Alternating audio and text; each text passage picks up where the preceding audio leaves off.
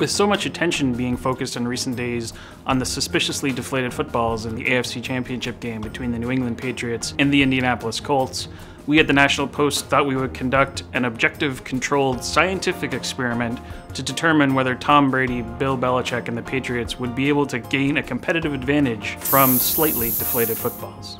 Before we get started, again, I want to stress that this is an objective experiment and no one is casting aspersions here.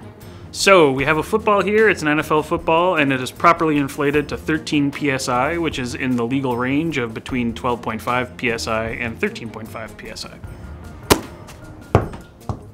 Okay, now let's deflate this slightly like a uh, New England Patriots ball boy or ball girl on the sidelines.